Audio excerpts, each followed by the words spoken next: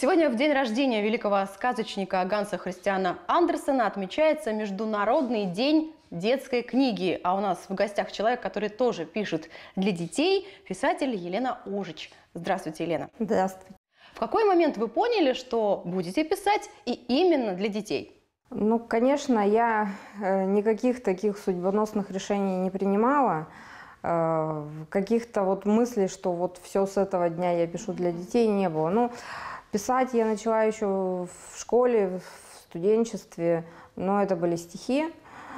А, а какие-то мысли, так скажем, детские, по поводу детских произведений, они стали появляться, когда моей старшей дочери исполнилось ну, примерно 6 лет. То есть это уже больше 10 лет назад.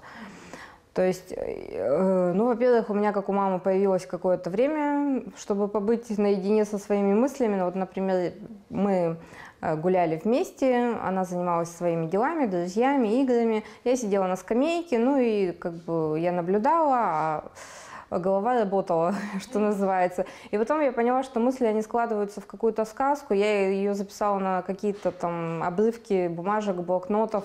Потом был у меня период, когда я оставалась без работы. И вот в ту зиму я как раз решила оцифровать все свои рукописные архивы и потом подала эту сказку на краевой издательский конкурс. И она была издана вместе с другими произведениями в книжке «Как я ничего не ела». А много ли у вас э, собственных книг? Не сборников, а книг? Ну, это, это, это мой сборник. То есть, э, ну, да, уже полтора десятка получается. Полтора десятка? А сложно ли сейчас издавать, ну, вот в целом книги, ну, и в частности детскую литературу? Издавать э, вообще не сложно, наоборот, легко. Э, сложно издавать, если ты хочешь издаваться на каком-то хорошем уровне. Например, чтобы тебя издало какое-то большое издательство в хорошем качестве, в красивом оформлении – вот, это да, это сложно, потому что издательства, как я понимаю, самотек не читают, э, почту, наверное, ну, ну, не знаю, то есть у меня, конечно, были случаи, когда меня издавали большие издательства, но как бы я решила, что вот в крае, как бы э, я смогу увидеть, во-первых, читателей, смогу с ними встретиться, смогу ответить на их вопросы. Я есть в социальных сетях, Пока не время, наверное, мне еще, наверное, выходить на какой-то большой, совсем большой уровень, так скажем, высшую лигу детских писателей. Но как бы все происходит, как должно случаться. Я знаю, что некоторые авторы, ну, в частности барнаульские, а, чтобы издать книгу, берут кредиты. Нет, вы до такого Нет, у меня таких историй не было, но я могу сказать, что я попробовала разные варианты издания. Ну, во-первых, это участие в каких-то конкурсах. В краевом конкурсе э, дважды я участвовала, трижды я участвовала, дважды побеждала, две книги изданы по краевому конкурсу. Есть сейчас много конкурсов, информация о которых размещена в сети. И это конкурсы, которые проводятся либо в других регионах. И вот, например, в конце 2017 года э, я выиграла в конкурсе «Серая шейка», который проводится на Урале. И приз был издание детской книги. Э, потом весной прошлого года я решила попробовать э, выложить на портал Литрес самоздат свою рукопись, и пока я там разбиралась и выкладывала, я увидела, что у них там висит баннер, проводится конкурс, вот прямо сейчас принимаются работы на конкурс детской и юношеской книги, я отправила, там был этап жюри и этап читательского голосования, но тоже вот по итогам мне напечатали небольшой тираж книги. Я пробовала метод краудфандинга, это когда предзаказ, и ты постишь информацию от твои знакомые, друзья, знакомые знакомых готовы общем, купить, буд... да, купить будущую книжку. Тут, наверное, еще есть какие-то способы, ну... Кто ваши первые читатели? Критики или все же родные дети? Ну, во-первых, да, родные дети. А, и у меня есть еще, так скажем, такой круг доверенных лиц. Это люди, которым я доверяю, которые я знаю, что, во-первых, они скажут всю правду. То есть они не будут там, дорожа дружбой со мной, говорить мне какие-то приятные вещи. При этом это люди грамотные. Э, некоторые из них, э, ну, во-первых, есть среди них такие старые закалки учителя, моя учительница русской, русского языка и литературы, а, художники, библиотекари, э, корректоры, ну, то есть все люди, которые вот так или иначе работают с текстом. И, ну, я знаю, что они вот э, за словом в карман не полезут, и если там будет за что поругать, что отметить, и они могут это высказать, так скажем, в духе конструктивной критики, то есть я не люблю, когда ругают, и так, что становится обидно. А я прислушиваюсь, когда говорят, что-то говорят, и я понимаю, да, действительно, это поможет улучшить текст, это действительно какая-то нелогичность, мне указывают на нее. Вот. И вот такие комментарии я благодарна. Современные дети вообще читают книги сейчас? Читают. Они не вылазят из гаджетов, читают. телефонов? Или вот тут электронные книги – это тоже книга? Ну, моя старшая и младшая дочь, они обе читают, но младшая еще пока без гаджетов, mm-hmm. а старшая читает и бумажные книги, и электронные.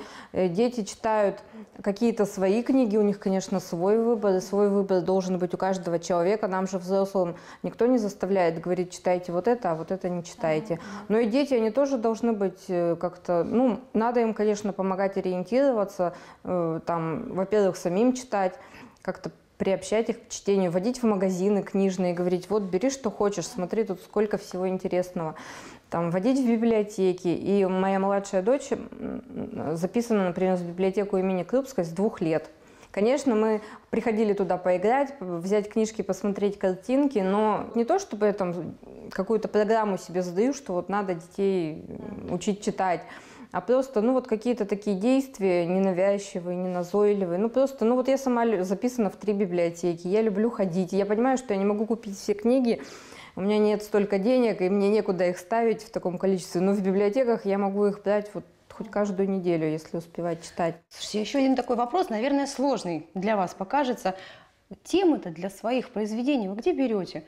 Дети подсказывают, Да, сложно, я поняла вопрос. Э, и не дети тоже подсказывают. Вот, например, мы, это та книжка, которую мы издавали методом краудфандинга, это сборник стихотворений э, «Ревение Щевель», стихотворение про ударение. Там идея угу. была подсказана Натальей Николенковой, которая вот меня так покритиковала за один стишок в сети. Я начала ей отвечать разными другими так. стишками.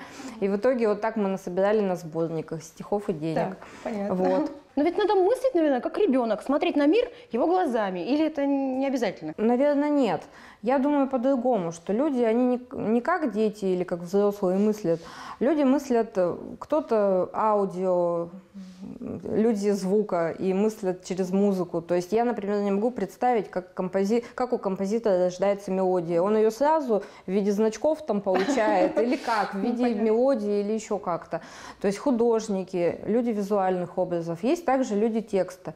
И то есть, ну, со стихами тут вообще все просто прилетает какой-то так кусок, в котором есть недостающие фрагменты, и надо методом, ну, как будто головоломку собираешь. Надо так сделать, чтобы, ну, сам понял, что это здорово. Угу. Ну, все же дар должен быть, ведь что он мне ну, не прилетает Я не знаю, дар, не дар, я называю это способ отражения действительности. Кто-то вот через техническое творчество, через конструирование, через одежду, через там грим, через там какие свои какие-то ну, другие таланты. Но у меня просто, ну вот текст. О Я... чем сейчас пишете? Или пока вы взяли паузу?